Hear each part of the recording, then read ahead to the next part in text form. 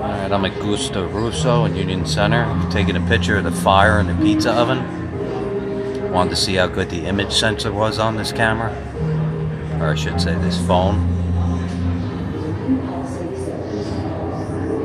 They spent $13,000 on this beautiful pizza oven.